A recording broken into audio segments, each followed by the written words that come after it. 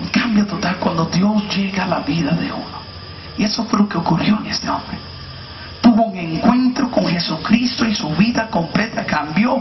Y él vio, él pudo haber llevado su problema, su situación, que era su hija que se estaba muriendo, la pudo haber llevado a muchos lugares, pero ¿para qué llevarlo a otros lugares cuando ahí estaba el Señor? Ahí estaba el Señor. Y él lo creyó. Y ahora fue a ejercer lo que estaba creyendo. Y dice la Biblia que se postró ante él y le rogó y le dijo, Señor, mi hija se está muriendo. Ven y pon tus manos sobre ella para que sane y viva. Yo interpreto esas palabras de esta forma y esta es la interpretación mía. Lo que yo entiendo es que Jairo le dice, Señor, en mi búsqueda, en mi estudio sobre tu persona, yo tuve un encuentro contigo. En mi corazón no hay duda que tú eres el Señor, que tú eres el Mesías, que tú eres el Cristo. Ahora yo tengo una situación, Señor. Mi hija se está muriendo. Y yo creo, Señor, que si tú me acompañas a mi casa, si tú vas conmigo a mi casa y al llegar a mi casa le encontramos a mi hija enferma y tú le impones las manos a mi hija, yo creo que mi hija va a sanar. Pero no solo se queda ahí, Señor. Lo que creo va más allá todavía. Que si al llegar a mi casa la encontramos muerta, yo creo, Señor, que tú tienes poder para levantarla de la muerte, porque tú eres el Señor. Jesucristo. Jesucristo cuando escuchó esas palabras, escuchó palabras de fe, palabras de fe. Yo quiero decirte, habría una gran multitud alrededor de él. Y Jesús decide ir a la casa de este hombre, de este hombre. Qué interesante eso. Se fue con él. Continúa el siguiente versículo diciendo, y se fue Jesucristo hacia la casa de Jairo. Y se fue con lo que él hizo y dijo, con la fe que él proclamó en ese momento,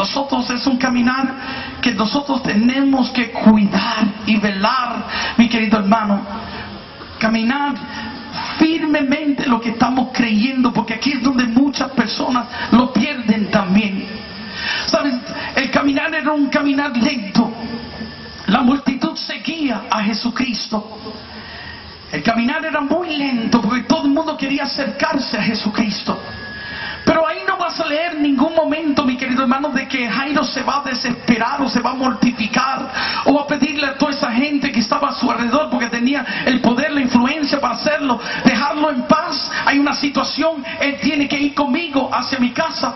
Sino que nada de eso vas a leer, mi querido hermano, porque Jairo caminaba con el Señor caminaba con el Señor.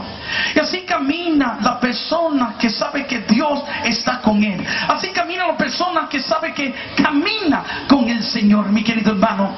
No se desespera, no se mortifica, es paciente en todo, mi querido hermano. Sabe esperar en el Señor. Muchas de las veces porque la cual nosotros no vemos la gloria de Dios en nuestra vida es porque no sabemos esperar en el Señor. Queremos todo a nuestro tiempo, en nuestro momento, cuando yo quiero, en mi instante.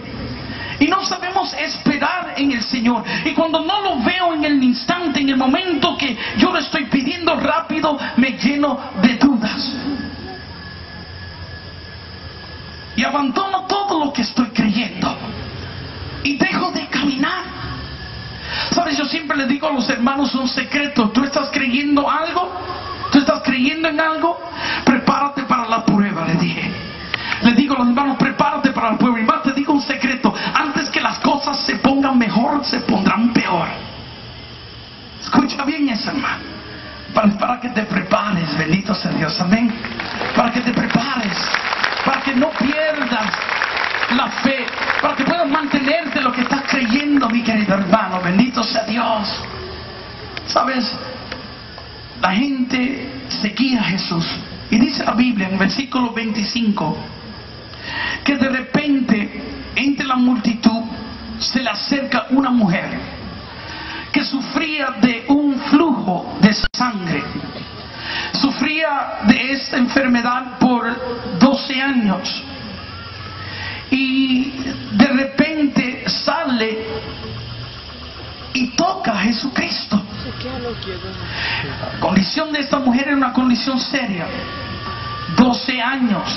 Dice la Biblia que visitó muchos médicos, gastó todo su dinero sin sacar ningún provecho, sino que su situación empeoraba. Esta mujer que es una historia fantástica de fe también, y ella va En su vida, bendito sea Dios también por lo que ella estaba creyendo. Porque el caso de esta mujer, mi querido hermano, era más serio de lo que nosotros imaginamos, porque a veces leemos, mi querido hermano, y no entendemos en sí la historia completa de lo que estaba ocurriendo ahí o de lo que estaban viviendo esos personajes. Algunos dirán, bueno, mi problema es un problema peor el de esta mujer, pero esta mujer tenía un problema muy serio. Había una ley en el Viejo Testamento que decía que personas que estaban con la condición de esta mujer, del flujo de sangre, tenían que eran considerados impuros y mientras esa persona estuviera en esa impureza no podía tener contacto con ninguna otra persona. No hasta que ah, después de que desapareciera o pasara eh, esa etapa de pureza era que entonces podía integrarse a la comunidad. Y solo pues eh, los sacerdotes eran los que decían si las personas podían integrarse a, a- la comunidad. El caso de esa mujer incluso era conocido por Jairo que él era sacerdote también. Esta mujer imagínate su condición no era algo normal. La Biblia está hablando de todo lo que las mujeres viven una vez al mes. No podían tener contacto con nadie mientras, estaban bajo esa condición. Luego que pasaba la condición podían integrarse porque era considerado una impureza. El caso de esta mujer no era algo que ocurría una vez al mes, era algo de todos los días por 12 años. Imagínate es cómo vivía esta mujer con la vergüenza que sentía. Vivía separada, vivía en soledad. Imagínate el vacío que sentía esta mujer. Por eso que podemos, entendemos ahora, mi querido hermano, toda la, la situación de esta mujer. Porque ella gastó todo su dinero. Porque visitó tantos médicos. Porque se expone a tanto sufrimiento. Pues ella quería salir de esa condición. Pero nos dice la Biblia que nada le servía. No sacaba ningún provecho de nada de lo que hacía. Ella escuchó, dice el versículo 27, cuando ella oyó hablar de Jesús. ¿Sabe lo que dice Romanos 10, 17? Que la fe viene por el oír y el oír de la palabra de Dios. La fe viene por el oír. Jairo también se llenó de fe por lo que estaba escuchando. Esta mujer también escuchó un mensaje. Y yo me imagino que fue alguien que estaba en esa reunión y también escuchó y también vio todo lo que estaba haciendo Jesucristo. Y no fue egoísta con lo que vio o con lo que recibió o, lo con lo que pues sintió sino que rápido se recordó de alguien que necesitaba de ese Jesucristo. Mis hermanos yo creo que hoy aquí vamos a ver la gloria de Dios yo creo que los ciegos van a ver. Yo creo que los sordos van a oír. Yo creo que los paralíticos van a caminar. Yo creo que hoy le vamos a dar tremenda paliza al diablo. Hoy aquí, bendito sea Dios. Pero sabes qué, mi querido hermano. Yo rápido digo estas cosas y todo el mundo se emociona. Así como reaccionaron ustedes. Pero yo te quiero decir que ustedes no saben en el lío que se han metido con venir hoy aquí en tremendo problema se han metido con venir hoy aquí. Y te voy a decir por qué. Porque hoy aquí se va a ver la gloria de Dios. Escucha bien eso. Porque se va a ver hoy la gloria de Dios. Pero ¿por qué te digo que estás en un problema? Porque lo que Dios hoy hará aquí en esta noche, aquí en este seminario, mi querido hermano, en los terrenos de este seminario, es para que todos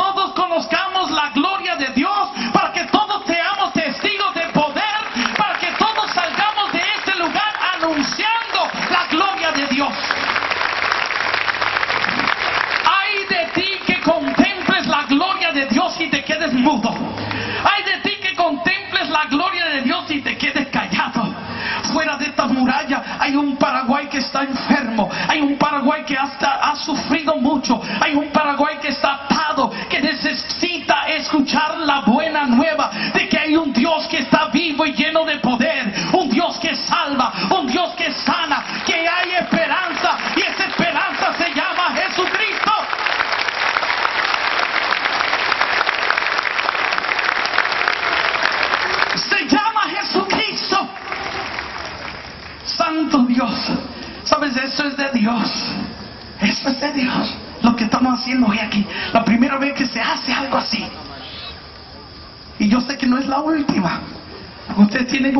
pastor y, eh, ya el, arzobispo está hablando de hacer muchas actividades de evangelización porque está creyendo en la misión continental donde Jesucristo tiene que ser proclamado en todo este país, bendito sea Dios.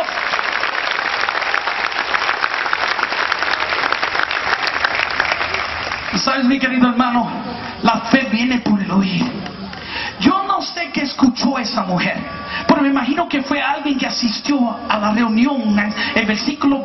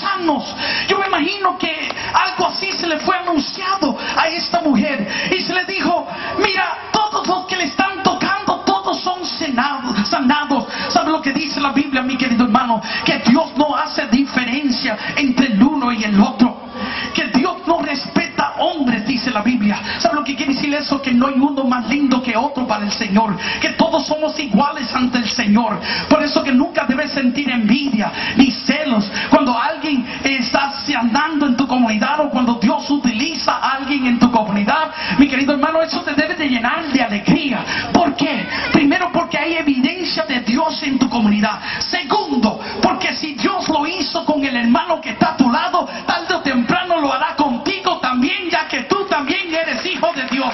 Bendito sea el Señor. Esa mujer escuchó eso, que todos le están tocando, todos los que le tocan, todos son sanados. Ella dijo,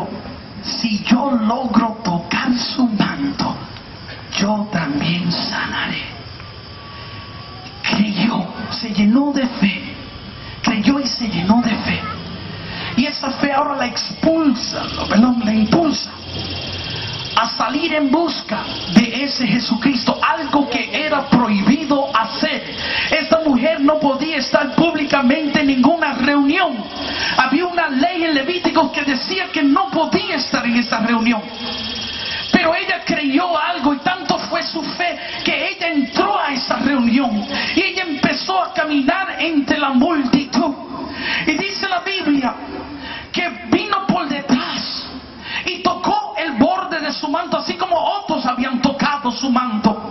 Y cuando tocó el borde de su manto, dice la Biblia, que poder salió de él. Dice otra traducción que virtud salió de él, dejándola completa.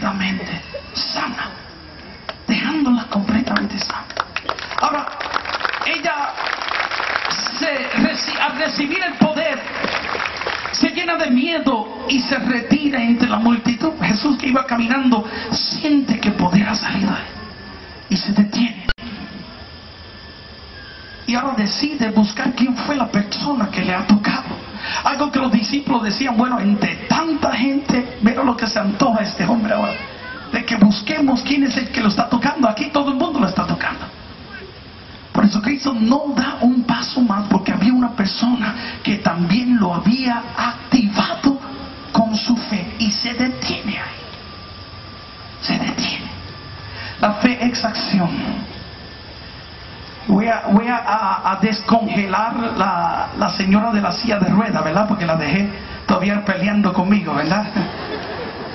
A, mí me pasa eso, ¿no? A veces veo a una persona congelada. Bendito sea Dios. Bueno, ahora la voy a descongelar. Pues ahora me pegó y yo le dije, usted no tiene fe porque si tuvieras fe, estuvieras haciendo algo por salir de esa condición y sin embargo te has quedado en esa silla de ruedas. La señora empieza a llorar y yo a veces por atrevido me meto en tremendos líos, bendito sea Dios. Y ahora la señora estaba llorando y, yo trato de consolarla y viene ella y me dice, no hermano ni, usted tiene toda la razón. Pues yo no tenía fe, hermano ni. Pero sabes algo, hermano ni, con lo que usted me acaba de decir. Ahora yo siento que hay algo adentro de mí que me está diciendo que me levante de esta silla de ruedas, me dijo. Yo le dije, hermana, esa es la fe que acaba de nacer en ti y que desea glorificar a Dios. Ay, hermano, ni siento el deseo de levantarme esta silla de ruedas y yo la tomé de la mano y le dije, pues no luches más, sé obediente y camine en el nombre de Jesús. Y aquella hermana dio un salto de la silla de ruedas, empezó a bailar entre el pueblo y dejó la silla de ruedas perdida para la gloria del Señor.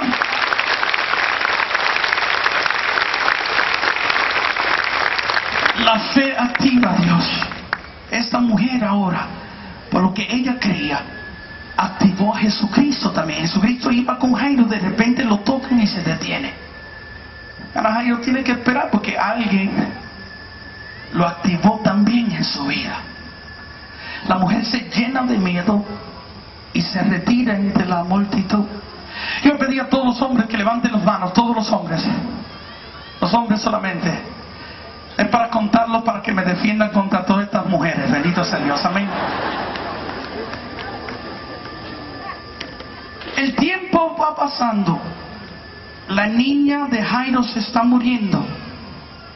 La mujer no aparece, está escondida, la están buscando. No vas a leer de que Jairo le va a recordar al Señor, mira, todo el mundo te está tocando aquí. Olvídate de esa persona y vamos, mi hija se está muriendo. Nada de eso vas a leer ahí, sino que en el silencio va a permanecer Jairo que está ahí en ese momento con él. De repente aparece la mujer. ¿Y por qué pedí a los varones que me cuidaran? Bendito sea Dios. Porque ahora esta mujer le dio con hablar. Ustedes, mis hermanos, saben que cuando las mujeres le dan con hablar, le dan con hablar. Bendito sea Dios. ¿Sabes? Dicen que las mujeres hablan como siete, siete veces más, o, siete mil palabras al día más que los hombres. No, los hombres hablan cuatro mil, creo que las mujeres siete mil palabras. Bendito sea Dios. Santo Dios, amén. Un aplauso a las damas, bendito sea Dios, amén.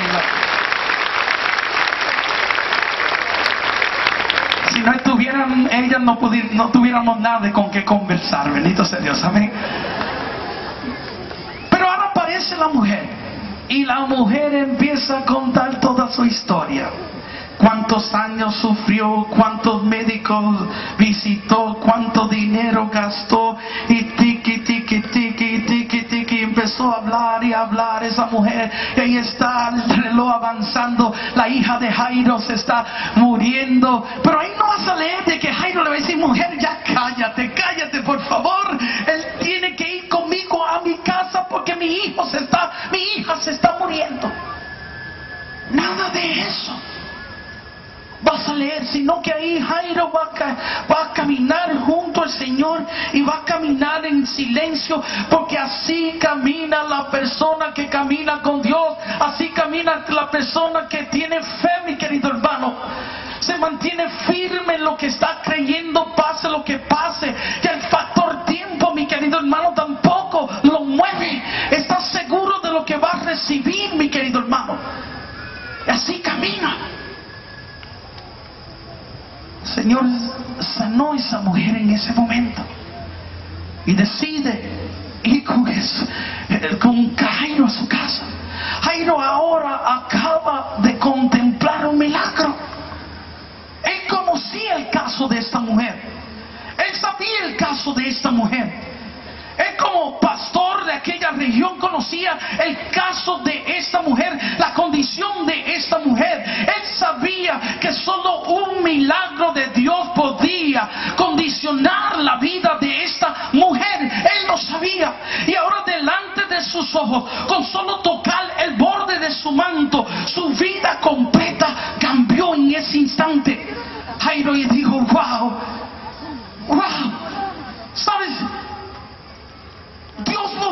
hombres. Dios no respeta hombres. No hace diferencia entre el uno y el otro. Todos somos iguales, como les decía mi querido hermano. Jairo se llenó de alegría porque vio un milagro hecho en esta mujer. Ahora, si lo hizo con esta mujer, su alegría era que también lo haría con su hija. Y aquella fe que era fuerte ahora se hace del tamaño de una montaña. Y yo me imagino que Jairo daba brincos, Jairo daba saltos, Jairo estaba lleno de gozo, lleno de alegría. Iba caminando Jairo y a todo el mundo le señalaba, vio lo que pasó ahí. Aquella mujer que sufrió por 12 años con un flujo de sangre, solo con tocar su manto quedó sano y siguió caminando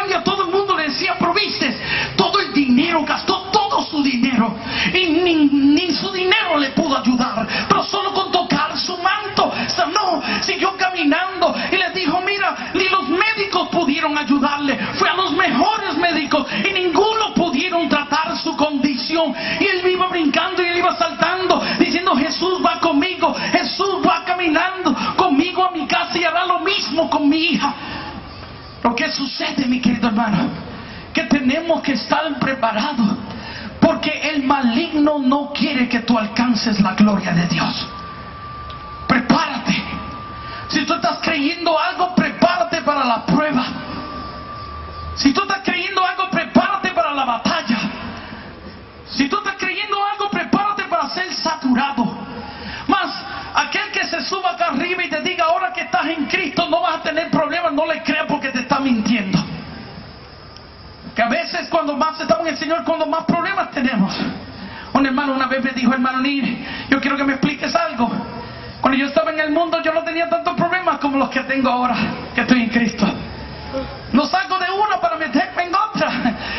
Es fácil. ¿Acaso te crees que te va a ser así de fácil?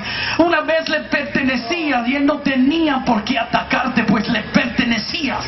Pero ahora que estás en Cristo, amárrate bien los pantalones porque vas a ser zarandeado por el diablo. Problemas vendrán como tú no te lo imaginas, con el propósito de que tú sueltes lo que tú estás creyendo.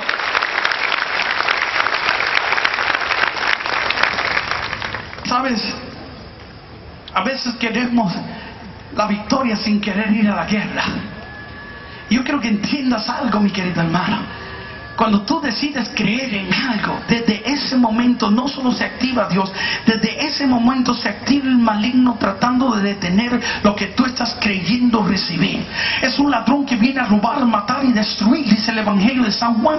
¿Sabes, mi querido hermano? Vendrá a tratar de robar, matar y recibir, eh, destruir lo que tú estás creyendo recibir, mi querido hermano. Eso que tú crees. El problema no es contigo.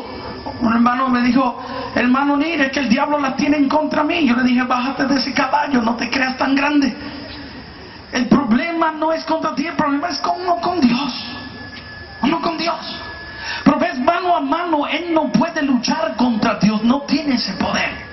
Y como no puede luchar contra Dios, entonces ataca lo más cercano a Dios. ¿Y qué es lo más cercano a Dios? Nosotros que fuimos creados a su imagen y semejanza. Atacándote a ti es como Él se desquita con Dios, mi querido hermano. Y sabes, Él no quiere. Él va a tratar de detenerte a ti, porque si te detiene a ti, detiene la gloria de Dios. Yo quiero que mires al hermano que está a tu lado por un momento, míralo. Aunque sea feo, yo quiero que lo mires. No, nadie es feo. Le acabo de decir que son imagen y semejanza de Dios. Amén. Mírale hermano, mírale hermano. arzobispo nos decía hoy que nosotros somos la gloria de Dios. Amén. Yo quiero que le digas, hermano, tú eres la gloria de Dios.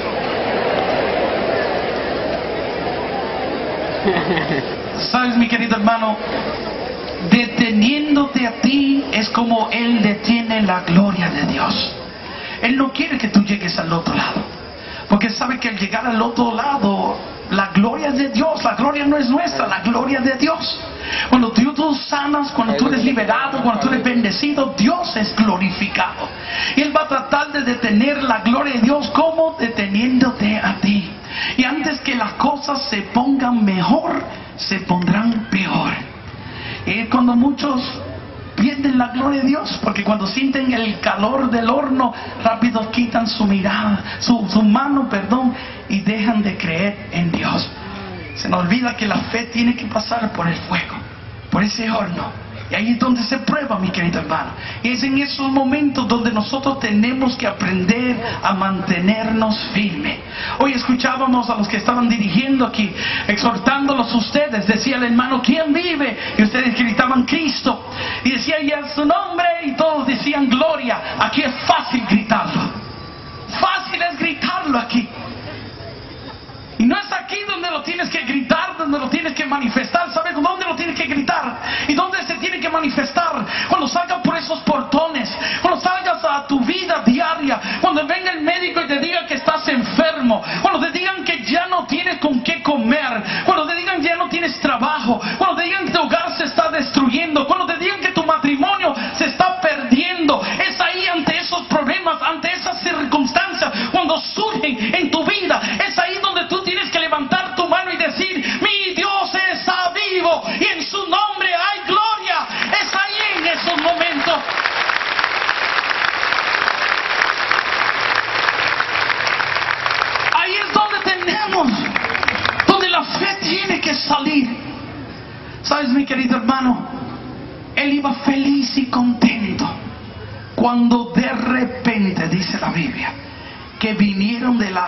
casa de Jairo. No vinieron para darle buenas noticias. Yo solo te lo voy a tratar de ilustrar para que lo puedas entender un momento. Él iba feliz y le señalaba, y vio, vio, tocó su manto, quedó sano y le señalaba. Pero viste, ni la medicina quedó sano. Iba señalándole, vio el milagro y de repente dice la Biblia que vinieron donde él. Y cuando él se volteó le dijeron, ¿por qué molestas al maestro? Tu hija ha muerto. Dice que vinieron de la casa de Jairo y por la forma como le hablaron a Jairo podemos creer que estas personas eran muy cercanas a él porque la- con la confianza que le hablaron a él.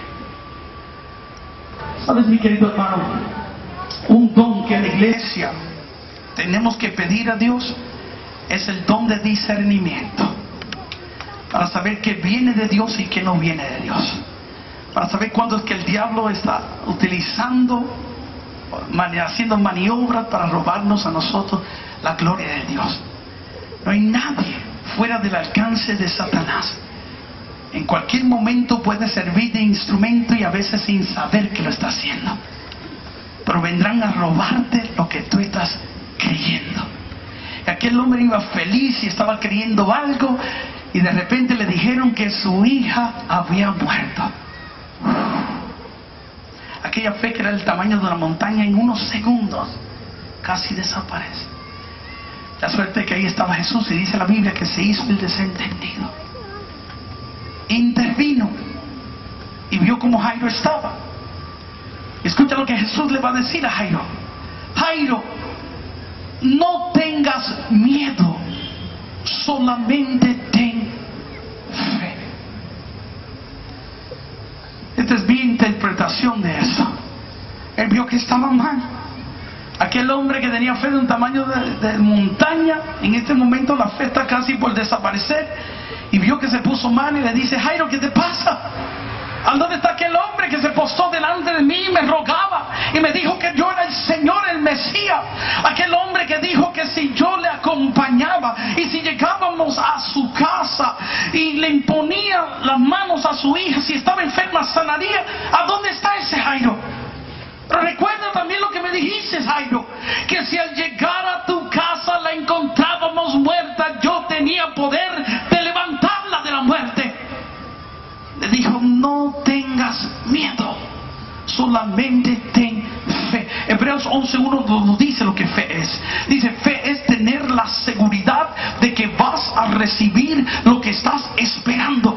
Le dijo, no tengas miedo, solo ten la seguridad de que vas a recibir lo que estás esperando. Ahora escucha lo que, lo que Jesús le está diciendo y a y en qué situación se lo está diciendo. La niña, la situación de la niña ha escalado a un nivel más grave ahora. Aquella niña ya no está enferma, ha muerto. Y sin embargo, mi querido hermano, el Señor lo invita a él a que siga valiente, a que se mantenga firme en lo que está creyendo, a que no le ponga limitaciones a un Dios que no tiene limitaciones. Escucha bien eso, hermano. Ayer yo le decía que a veces nos volvemos un nada cuando los hombres vienen y nos pintan sus limitaciones. Nos dicen no podemos hacer por nada por ti. No hay medicina, no hay tratamiento, nada podemos hacer por ti. Y rápido escuchamos eso y nos volvemos un nada. Y hay personas que rápido se empiezan a sus oídos y toda esperanza desaparece de ellos. Para Dios nada es imposible, mi querido hermano. Yo no sé cómo hoy tú has venido aquí.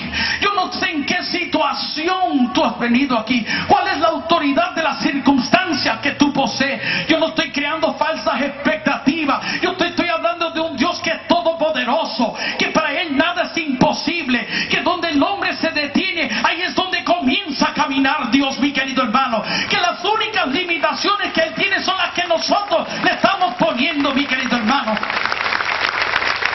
Te estoy diciendo, mi querido hermano, que para Dios no existen cosas grandes. Somos tú y yo quienes hacemos las cosas grandes, mi querido hermano. Nos, nos ahogamos en vasos de agua. Algunos dirán, hermano, ni si usted tuviera mi problema, no diría un vaso de agua, sino tremenda piscina. Sabes, mi querido hermano, para ti aparenta una piscina, pero para Dios es un vaso de agua. Como yo decía anoche, mi querido hermano, un cáncer, para Dios un, cáncer, una, un cáncer es igual que una gripe. Somos nosotros quienes las hicimos grandes, pero para Dios son todas iguales y para Él nada es imposible. Y donde el hombre termina de caminar, es donde comienza Dios a caminar. Y sabe lo que dice la Biblia, que Dios abre caminos donde no existen. Yo no sé si en tu vida hoy llegaste aquí y te han cerrado los caminos en tu vida. La Biblia dice que Dios abre caminos donde no los hay. Y si tú crees en Él hoy, tú verás la gloria de Dios. La niña había muerto. Y todavía Jesús le dice, no tenga miedo, solamente ten fe. Ten la seguridad de que vas a recibir lo que estás esperando. Y rápido, mi querido hermano, separó Jesucristo a Jairo de aquellas personas. Y eso es un dato muy importante, pero regreso a eso más luego. Llegó a la casa de Jairo. Y cuando llegó a la casa de Jairo, vio a todo el mundo. Todo el mundo estaba en el velorio, estaban llorando todo el mundo. Y vino a Jesucristo y miró a todas las personas que estaban ahí. Y le dijo, ¿por qué tanta bulla? ¿Por qué están llorando? ¿Por qué lloran? La niña no ha muerto, sino que duerme. Yo me imagino que eso lo revolcó el hormiguero cuando él dijo eso. Y quizás ahí incluso estaba el médico que certificó la muerte de esa niña. Y ahora se molestó todo el mundo porque creían que Jesucristo estaba insultando la inteligencia de ellos. ¿Acaso no sabemos distinguir entre la muerte y el sueño? Pero Jesucristo no le estaba tratando de llevar la contraria. Era que Jesucristo, y yo quiero que escuches esto, mi querido hermano, Jesucristo no podía decir otra cosa. No podía decir otra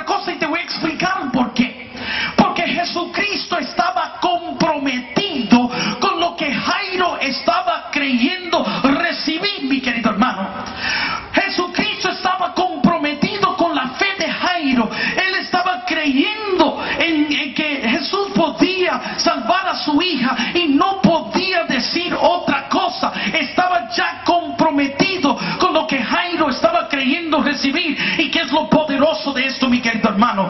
Que el mundo, el mundo te puede decir, escucha bien esto, tú estás creyendo azul. Eso es lo que tú estás creyendo, es azul. Y el mundo te podrá decir es.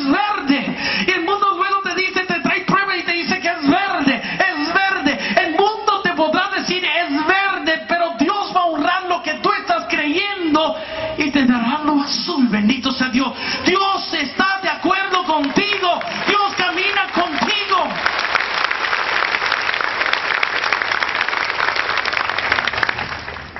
Vino Jesús y yo quiero que observes algo cuando estés leyendo eso. Jesús no entra a la de Jairo hasta que todos los llorones salieron fuera. Los sacó a todos. ¿Por qué? Porque necesitaba tener un ambiente de fe. Y fíjate ahora, solo deja entrar a creyentes al lado de Jairo. Él, los, él, los él protegió a Jairo de aquellos que le trajeron la noticia, los separó de ellos, porque aquellos estaban trayendo otra noticia diferente a lo que Jairo estaba creyendo. Y ahora reúne alrededor de Jairo creyentes. ¿Por qué? Es necesario, mi querido hermano, mantener un ambiente de fe. ¿Sabe? Es necesario esta reunión de esta noche. Es necesario de que tú asistas a tu parroquia, a tu Eucaristía, a tus reuniones, mi querido hermano, eh, a, tu estrella, a tu que tengas fraternidad con creyentes, mi querido hermano. Es necesario, porque sabes algo, 24 horas al día, el enemigo nos está bombardeando con malas noticias. Y todo lo que escuchamos, todo lo que vemos, mi querido hermano, es todo lo contrario a lo que estamos creyendo. Y a veces todo eso que nos satura todos los días debilita nuestra armadura, mi querido hermano. Y es necesario nosotros estar alrededor de personas que nos puedan apoyar en lo que estamos creyendo. Fuerzas, encontrarás tu parroquia, encontrarás un grupo de oración, encontrarás a tu organización, mi querido hermano, o a tu movimiento. Entrarás ahí, encontrarás un hermano que te dirá, no tengas miedo, solamente ten fe, Dios está contigo y todo lo puedes en Él quien te da las fuerzas.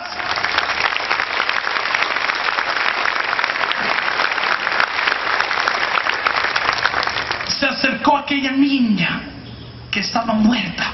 Escucha cómo le habla. Le dice, Talita como, niña tú que duermes. No le dijo, niña tú que estás muerta. Hasta en su oración está de acuerdo con lo que Jairo está creyendo.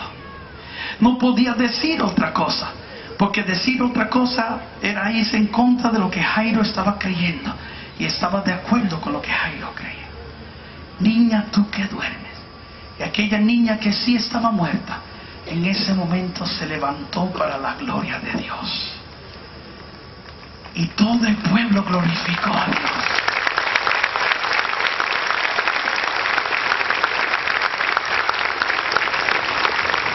Ahí ocurrió lo que ese hombre estaba creyendo.